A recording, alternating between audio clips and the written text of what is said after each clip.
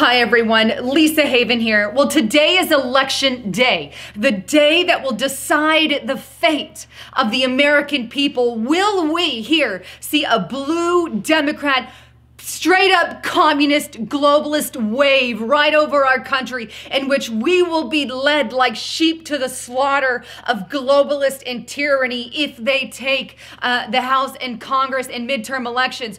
Or will we see the red wave and have a little more time to build up our nation here in, a, in, our country and support the Trump situation? Well, the decision is yours. Mind you, there is a lot of election fraud happening right now. There's long lines and rumors uh, of hacking the system. And not only that, but dead people are everywhere. The Democratic Party is infamous for bringing up dead people's voter information and giving it to people who have not registered to vote and sending them to the polling places over and over and over again to vote as dead persons. This is why I say if you uh, are, are not out there voting, please get out and vote right now. The only way to uh, overcome the corruption by the Democratic Party is for us to vote in mass hordes because the amount of corruption that we are witnessing. And not only that, but here we are at election day, and I've shared on my channel repeatedly the amount of censorship that big tech organizations like Facebook and Twitter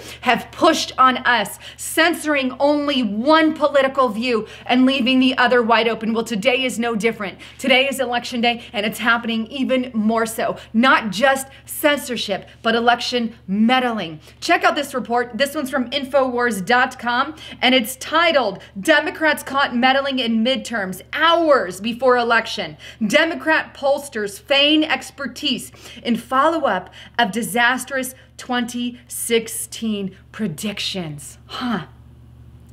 It doesn't stop one day. It won't stop tomorrow after the election. They'll only get worse. We have to bring attention to what they're doing and call things out for what they are.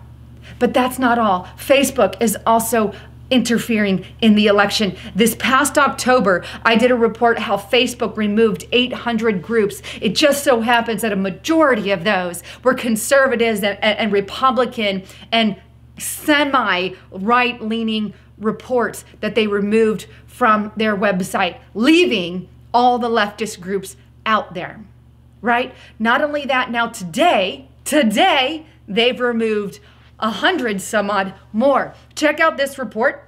And this is on KTLA5.com. Facebook blocks 115 accounts linked to groups attempting to interfere in the U.S. midterm election.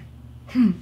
115 groups gone today, just gone.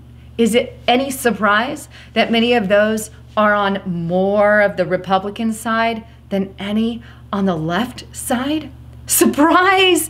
Democrats are interfering in the election again. In fact, I went to one of the groups that I am an, an admin on. It's called uh, The News You Won't See on TV, Melvin Dare's group. He's an admin as well. And the entire group has been wiped mysteriously. Here's, here's what I actually got when I clicked on the screen. Not only that, but I also found an article uh, here, and this is on Fellowship of the Minds. Facebook also took down their group just in time for the midterm elections. But never fear right? Because Facebook is allowing everything on the left, even white genocide groups. Check out this report. This one's on Daily Mail, published today. Facebook approved a white genocide ad campaign targeted at conspiracy theorists who think outside forces want to exterminate the white race. Huh. There is a ton of election meddling going on, and it's happening by the mainstream media. CNN, MSNBC, ABC, pretty much all of them, and Fox has kind of been on the fence lately, are all anti Trump, are all anti Republican. That means something.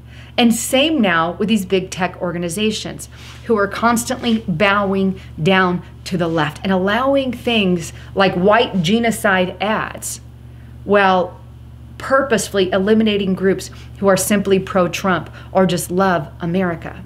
Nothing racist about the groups. This is what is happening. But you know what? We are making headway. And we we maybe maybe we'll see a red wave or maybe and I pray against any blue wave. But there are predictions coming in that I want to show you. This one, first one here, is from townhall.com. Vegas oddmaker predicts GOP upset. Now, he is predicting a win for the GOP, but the report goes on to state that back in 2016, uh, the Vegas oddmaker predicted a Trump victory when no one else did. He basically predicted it because of the size of Trump's rallies and how they were far bigger than Hillary's. Now, if you read this article, what it gives you examples of in Vegas, you know, Hillary had one to 200 people showed up, while Trump had 10,000 people show up. That is a very simple way to say, well, who's voting more for Trump and who's voting more for Hillary? And one who pays attention, like he was, can very clearly see that Trump's sizes are a lot bigger. And it's been that way still. His rallies, his turnups have been huge. Yet we have a, a, a rally for, um, Bernie, and it's very, very small. You see, so he is predicting in this article, and I encourage you to read it, that there will be another victory for the GOP. But he's not the only one. Check out this second article. This one's here is from InfoWars. Final Gallup poll. Majority of Americans think Republicans will retain the House. Predictions have come true every time since 1946. Now, this goes on to state that according to the results, 50% of Americans think Republicans will retain control of the House, as compared to 44 percent who think Democrats will win enough seats to gain the victory. But you know, there are a lot of other sites predicting a win for the globalist Democrats. Here's one of those at 538.com 7 and 8 chance for the Democrats to win, and 1 in 8 for the Republicans uh, to gain or keep control. That's where we're at. I don't know which way it's going to go. But I know if that blue wave comes, we're heading into tyrannical globalism and mass censorship of the internet. I know if the red wave hits, that we've got a little more time on our hands to fix things in our country and attempt to stop some of the things that are limiting our freedom. There's a reason the Democrats only get the young votes. Because let's be honest, when we were younger in college and high school, we didn't know as much as we know now. And they take advantage of that. There's a reason they have to go to dead people to get votes. Because anyone in their right mind knows better than to push an agenda like what the globalist Democrats are pushing.